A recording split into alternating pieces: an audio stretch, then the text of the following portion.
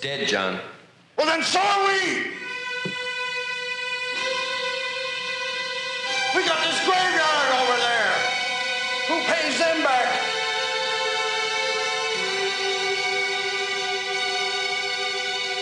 How do they get their $200 per family member?